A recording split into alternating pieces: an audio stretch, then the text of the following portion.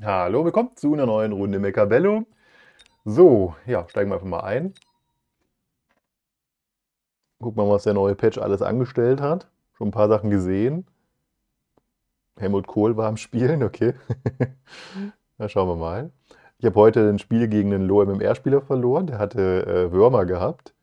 Ähm, und ich habe die versucht mit Scorpions zu kontern. Ich habe nicht gewusst, dass wenn die Scorpions nebeneinander stehen, dass ein Wurm die one-shottet beide. Ähm, dann ist das Spiel natürlich sofort vorbei an so einer Stelle, ja. Ich dachte, wir nebeneinander stehen und er kommt und haut auf ihn ein, kann der andere den Tod schießen. Aber genau das Gegenteil ist der Fall gewesen. Eine Erfahrung fürs Leben. Deswegen muss ich jetzt wahrscheinlich wieder 50 MMR aufholen. Was mich zurückbringt zu dem üblichen Spiel. Ähm, Low-MMR-Spieler canceln, Turnierspieler canceln und nur gegen hohe MMR-Spieler ohne Turnier irgendwas spielen. Ja, das System bietet das ja leider an. ähm, naja. Wenn man lang genug spielt, dann kommt man auch auf sein MMR irgendwie. Aber ist natürlich viel holpriger, wenn man eben nicht die Exploits benutzt. So. Haben wir das Kleinvieh dazu. Die Steamboy stellen wir uns so auf. Die kommt von hinten dazu gerannt. Und dann versucht man das Kleinvieh alles zu töten, was da ist.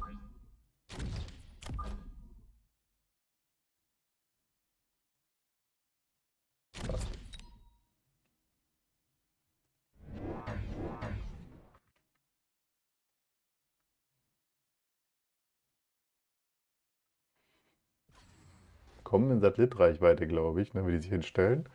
Also das sieht nach einem epischen Satellit hier aus, der 600 Punkte vernichtet, wenn ich ihn hier hinstelle. ja, guck mal, wo die gleich stehen, die Jungs. Also...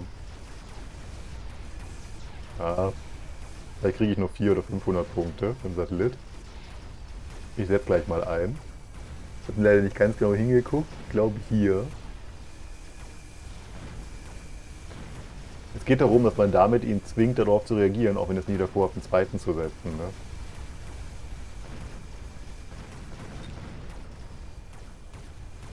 Was ich immer mal ausprobieren wollte, aber ich habe heute, glaube ich, schon genug äh, vergeigt durch Ausprobieren, das dagegen die Steelballs.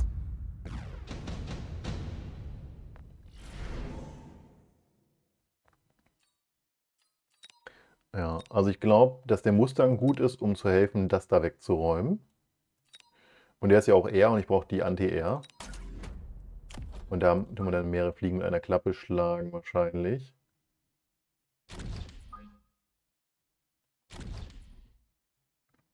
Da machen wir direkt ganz dicke, oder? Du von da, du von hier. Ach, ich hätte zu gerne den Satellit setzen, ehrlich gesagt.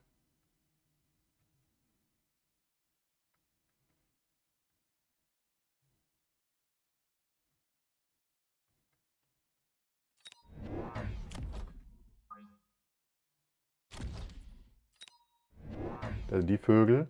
Ich bin überrascht, das hätte ich nie erwartet. Wenn nur einer bleiben. Okay, Crawler.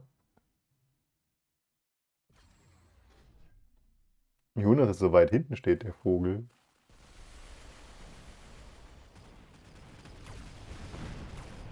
Ja, also das Lit müsste hier hin. Ist die Frage, wie ich mir das jetzt merke, diesen Punkt.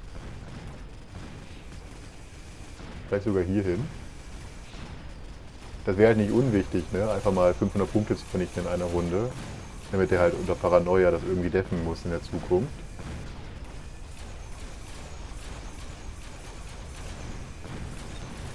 Kein Teleport. Oder ein Jump Drive, wie das noch heißt.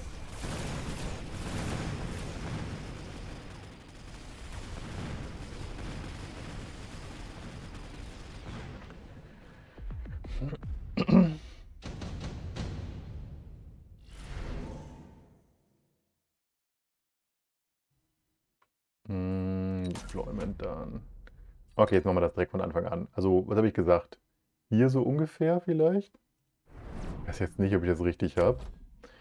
Ähm, Reichweite kostet, glaube ich, noch zu viel.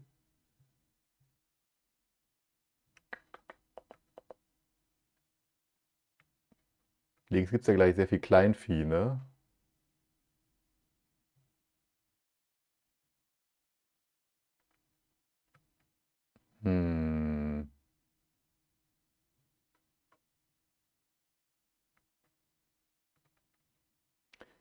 Ein bisschen mehr Schaden wäre schön. Diese Runde wird es ja hoffentlich ausgesiebt. I don't know. Ein bisschen mehr Schaden. Ich kann mich nicht entscheiden. Fortify, Deployment.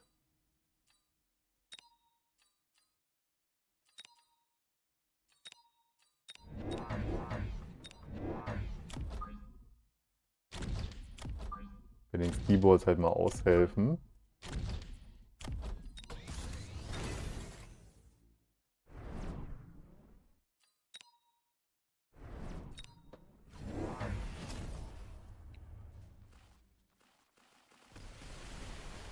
Der zweite Satellit war einfach nur, ne, weil Zeit.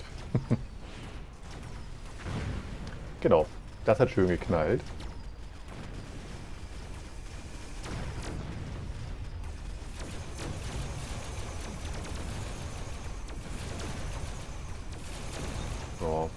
Panzerplatte da auch nicht drin. Ich glaube, da kann ich normale Reichweite nehmen statt Anti-Air, oder?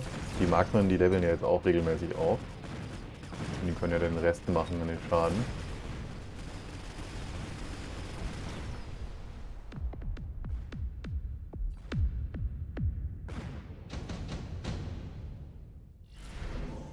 Hat sogar ein Steeball mehr, ne? Mass produced.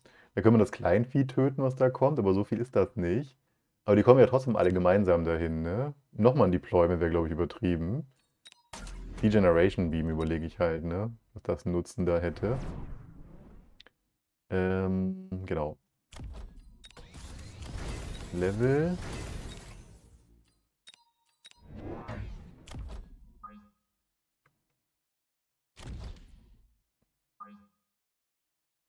Stück schneller geht. Wir können das Headquarter vorne ein bisschen beschützen. Ja, der eine Satellit hat mich halt da ein bisschen reingeritten.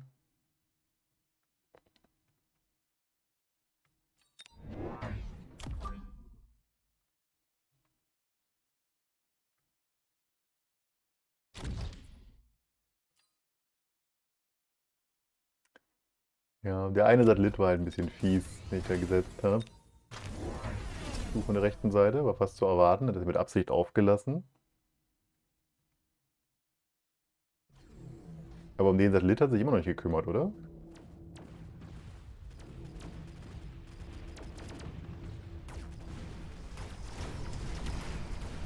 Ah, war nicht so sauber gesetzt diesmal. Schade, Mann.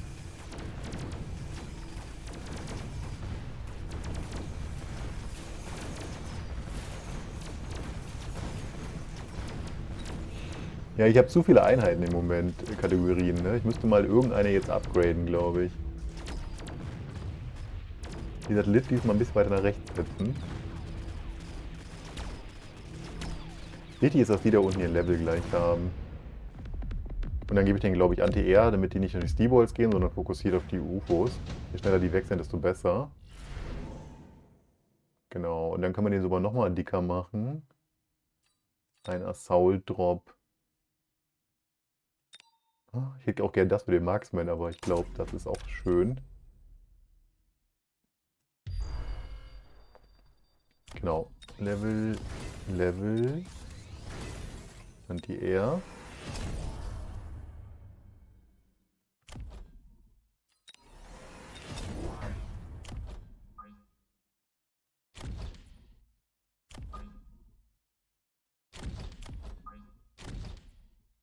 Okay.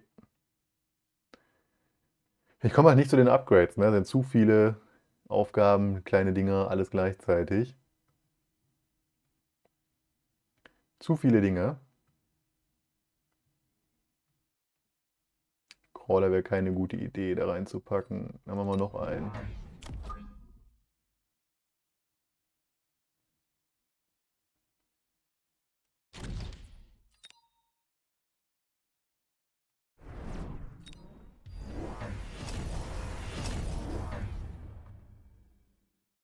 Luftabwehrwespen. Gegen meine Budget nicht geupgradete gar nichts Wrath. Okay.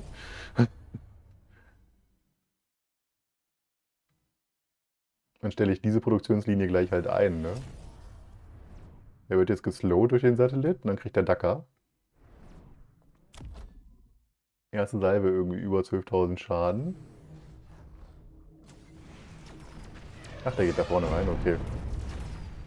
Gehen nicht leider alle hin. Meiner hat leider eine Wespe am Hals. Ja, UFO ist aber schon eingeloggt, im Moment tot. Links das gleiche Spiel.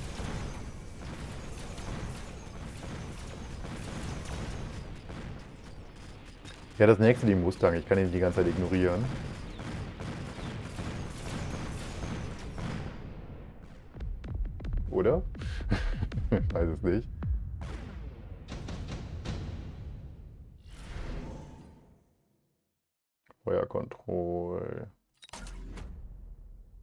Wäre einfach mal ganz, ganz flink diese Sachen da immer abknallen. Panzerplatte, keine Ahnung, ob er eine Panzerplatte hat.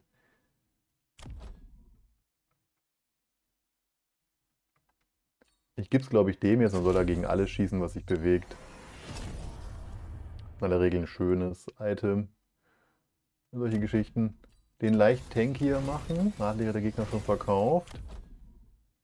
Genau, die machen ja schon ihren Job hier vorne. Könnten ihn noch ein bisschen beschleunigen vielleicht sogar. Aber ich habe, wie gesagt, so viele Sachen, die ich jetzt machen will. Ich höre nochmal rechts ein, falls eine Wespe dazu kommt. Doch wenn ich hier gehe, geht der nach rechts. Ach, das ist auch sicher genug, oder? Der schießt ja automatisch da hoch. Ja, da oben, das gefällt mir noch nicht so hundertprozentig. Denken wir das mit dem extra Panzer. Und dann nochmal ein Satellit hier vorne. Genau, der soll halt hier vorne einfach alles tanken.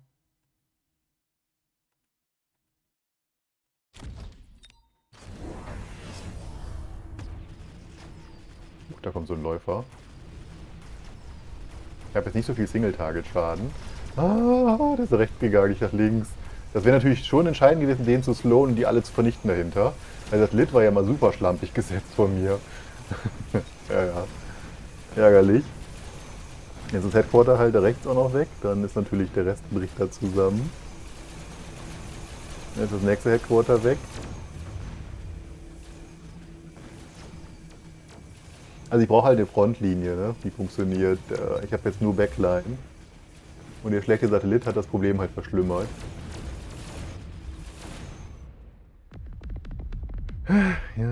Was für ein Drama.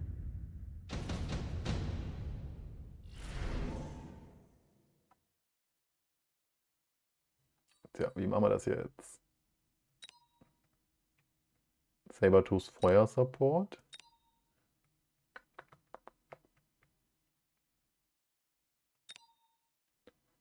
Ich riskiere das jetzt einfach mal, weil da oben halt nichts steht, ne? Also ich kann nur hoffen, dass die nicht nach oben gehen. Die Anzeige ist halt immer noch broken leider, ne? Weil wenn ich hochgehe, bin ich tot. Also ich kann da wahrscheinlich nur einen reinquetschen. Der andere sonst der Feuersupport hier in der Front. Dass es mal ganz schnell geht.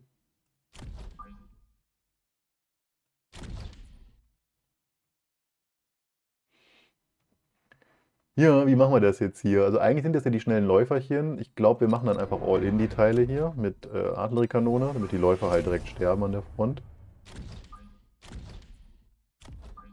Deswegen der Wespe halt ein bisschen unangenehm.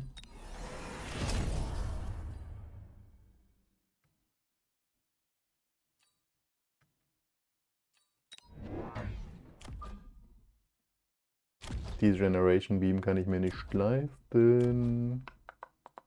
Weg.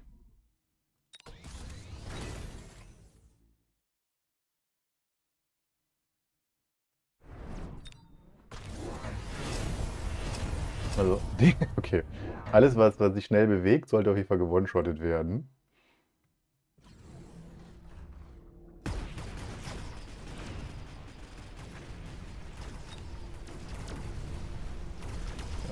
Der müsste eigentlich da drauf gehen.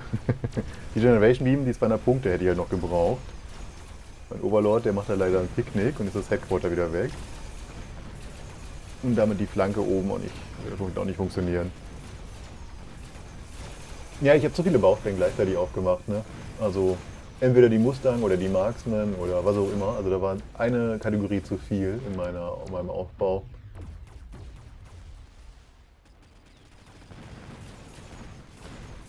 Nichtsdestotrotz habe ich, glaube ich, gewonnen, wenn ich die Besten da jetzt abknalle, weil er keine Luftabwehr mehr hat, keine richtige. Ne? Also ist dann trotzdem entschieden das Spiel. Da oben liegt noch einer. Aber das ändert nicht daran, dass man das Problem mal suchen sollte, warum er so krampfhaft war die letzten beiden Runden. Und ich glaube halt, dass es einfach, ne, ich brauchte halt Upgrades und ähm, wenn ihr so viele Kategorien habt, könnt ihr keine Upgrades mehr vergeben, ja.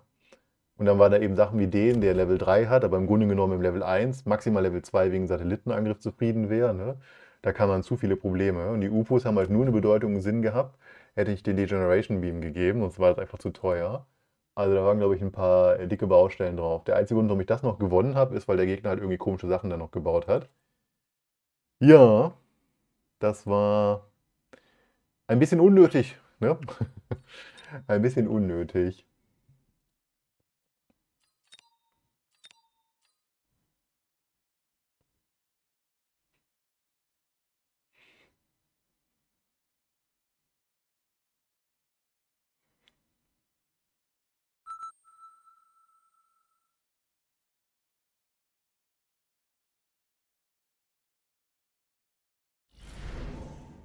Mhm. Ja, der ist der Klassiker, ne? Da brauchen wir gar nicht weiter gucken wahrscheinlich. Da ist doppelt gemoppelt. Das ist einfach ein Scheißstart per se. Das ginge theoretisch auch, aber da ist, glaube ich, alles drin, was wir wollen. Was das Herz begehrt. Giant.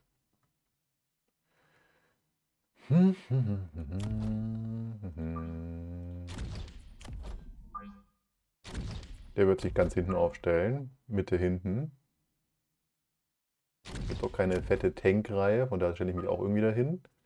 Die kommen ein bisschen mittiger, damit die halt nicht auf derselben Höhe wie die äh, links sind. Die Mustangs. Genau, und als Modelltanks kommen nur die in Frage, so ein Setup. Genau, ist nur noch die Frage, wo die hin sollen, auf welche Höhe.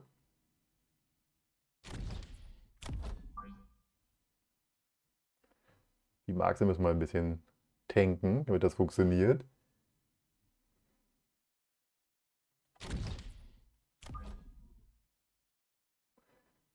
Mal direkt so stellen.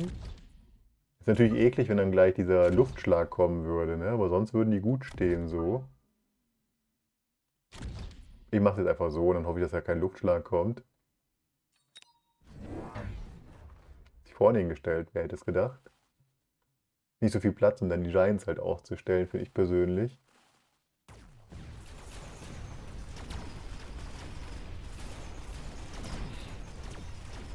Weil die Arclight-Reichweite wäre super gut. Die Phoenix machen nicht besonders viel, muss man leider sagen. Aber wenn die langsam aufleveln, gehen die Giants nachher gut. Es sei denn, er spielt halt den Fortress. Ne? Also und da würde ich bei den Phoenix jetzt so wenig wie möglich investieren. Die werden ist einfach, selbst wenn die funktionieren, langfristig zu gefährlich, dass sie kaputt gehen. Ja? Also ich kann die dann wegporten nachher. Und da will ich kein anderes Upgrade, wenn es nicht so teuer wird. Feuerchen, mass produced. Jetzt kann er die Giants-Preis wiederholen. Das wäre natürlich nicht schön, ne? Doppel-Giant-Bonus sozusagen. Ich logge das jetzt einfach ein, damit ich auch Giants hole nachher. Das ist mir das jetzt wert, das Risiko. Ähm, ansonsten mache ich nochmal Anti-Small hier. In der Mitte so ein. Nochmal so ein.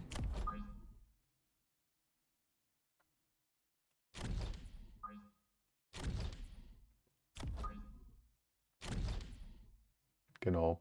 Die bräuchten halt Reichweite, ne? Aber das ist immer dieser 50er dann. Da muss man halt überlegen, ob man das investieren möchte.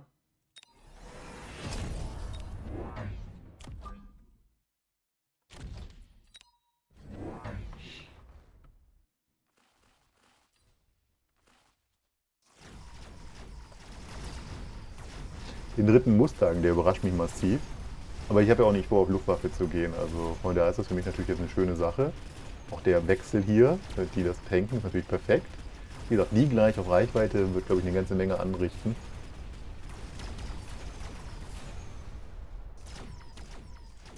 Ja, der Feng, ne? der hat sich gelohnt.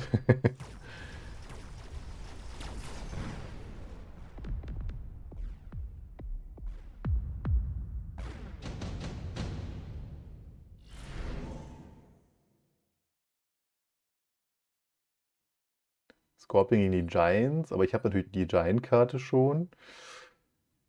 Level 3 Wespe, aber er hat so viel Flugabwehr, also lass mir die Finger von. Sabertooth, die werden ja auch gewone-shottet nachher.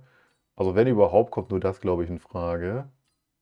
Wenn er jetzt selbst auf die Wespe geht, dann wird es ein bisschen eng, aber ich meine, die schießen auch eine einzelne Wespe ab, das wäre jetzt nicht das größte Drama. Gegen die Giants hilft das halt nochmal extra. Dann brauche ich keine Melting Points da gleich holen. Genau, also die kriegen jetzt auf jeden Fall ihre Reichweite. Ja, wie gesagt, wenn jetzt die West bekommen, kurz ein bisschen fies werden.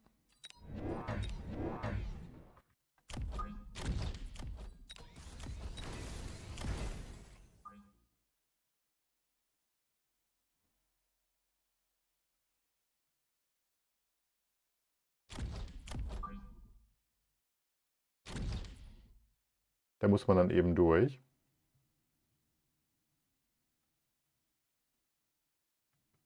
Komme ich da eigentlich einen Satellit in die Kante? Tatsache, ne? Nur damit er halt Paranoia hat und dass er gegen sich aufstellt den Rest des Spiels. Ja, verarsch mich doch. jetzt im Ernst oder was? Das wär's doch jetzt gewesen da, ne? Und dann musste da Wurm stehen. Ich habe meine Lektion gelernt. Die Scorpions gegen die Würmer ist ein bisschen problematisch. Also ich habe halt Schüsse gesehen, die den Wurm treffen, aber keinen Schaden an dem machen, weil die Animation halt, äh, der zeigt den noch nicht eingetunnelt und trotzdem ist er schon getunnelt. Ne? Also ich glaube, die Scorpions sind die schlechteste Wahl inzwischen gegen die Würmer. Jetzt habe ich den natürlich unglücklicherweise geholt, den Scorpion. Aber für die beiden da ist das okay, die werden ja gewone-shottet. ja, äh, Wurm jetzt töten. Wie gesagt, ich habe noch keine Tests durchgeführt und da kann ich euch jetzt nicht sagen. Also, ähm, früher hat, glaube ich, der Fortress den besiegt vor dem Patch. Aber müsste ich genauso raten wie viele andere wahrscheinlich.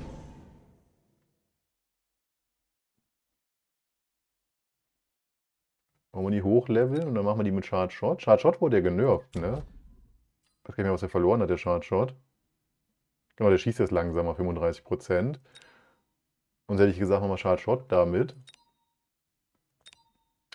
Können wir vielleicht trotzdem All-In gehen? I don't know.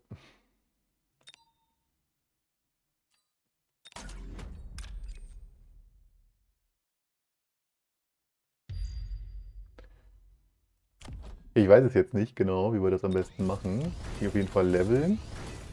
Die nicht gelevelt kommen. Ja, die kann man trotzdem leveln gegen die Dinger. Ja, ich muss den Wurm jetzt irgendwie bekämpfen und ähm, wollen wir das riskieren mit dem Phönix? Der kommt ja in den Nahkampf, der Wurm. Shard Shot, Phönix. Ist wieder riskant, wenn er dann eben Dings ausgibt, ne?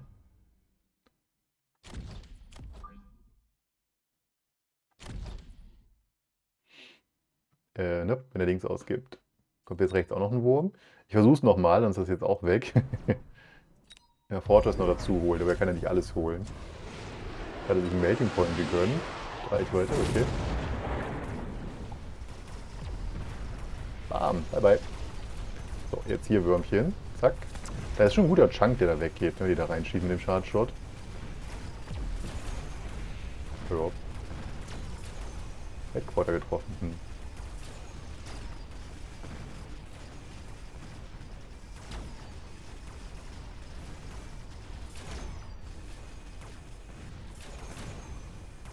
Wir kommen. Dicke Kanone. Und gut. Also er kann gerne noch einen dritten verschiedenen Giant holen, wenn er jetzt die A ausgeben will. Das wäre schon sehr teuer. Je mehr Kategorien er aufmacht, desto besser. Muss ich trotzdem bei mir mal gucken langsam. Redeployment. Könnte natürlich ein paar Leuten das Leben retten und ich kann die Vögel in eine bessere Position bringen. Smoke ist natürlich auch mal brutal gut, gar keine Frage.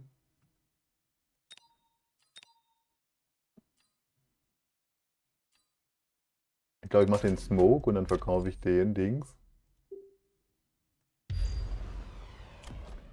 Ja, also ich weiß nicht, ob ich den noch anwende. Dann holen wir lieber einfach nochmal einen Giant. Selbst gleich dazu.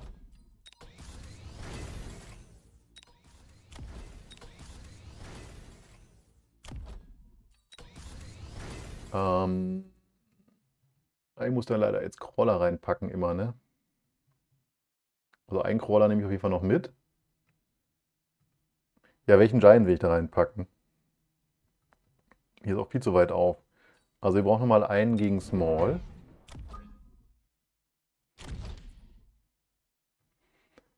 Dann nehmen wir nochmal einen, der dazu läuft, um einfach alles wegzutanken. Aber ich brauche halt irgendwas Dickes. Scheiße, da machen wir auch ein Dings da. Dafür haben wir ihn ja geholt eben.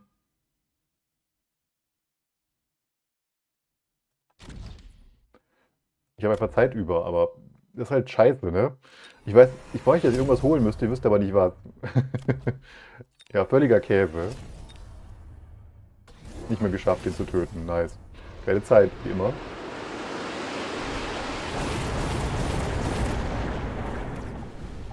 Okay, also das kleine Vieh töten wir. Der wäre, wie gesagt, jetzt eigentlich schon tot, ne? Den Satellit, das sehr ärgerlich. Wurm platzt auch sofort. Die Dinger schneiden wir langsam Stücke.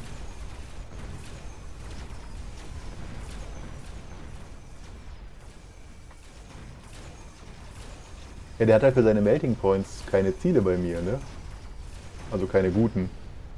Entsprechend läuft das dann auch nicht. Und der Wurm ist äh, anscheinend doch, wie immer, sinnbefreit.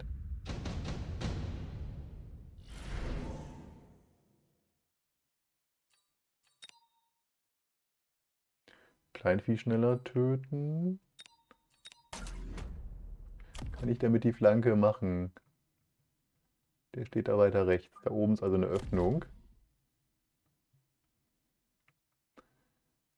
Ja, ansonsten mache ich auch mal eine Reichweite, ne?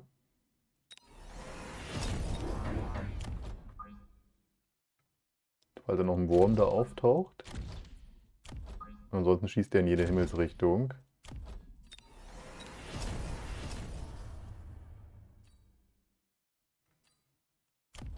Kann ich dir nicht geben, ne?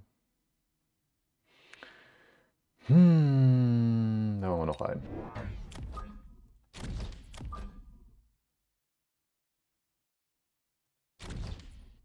So, jetzt aber nochmal. du musst doch gehen.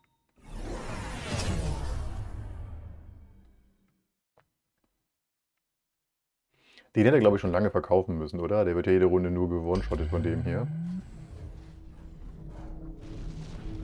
Guten UFOs.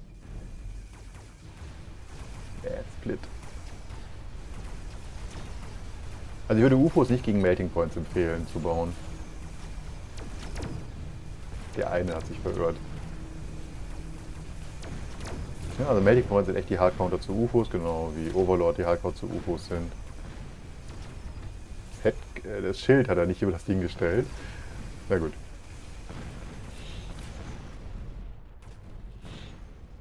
Ja, nicht sicher, was, was sein Plan da war. Also er hat ja auch einen YouTube-Kanal, könnt ihr ja auch sein, äh, hören, was er machen wollte.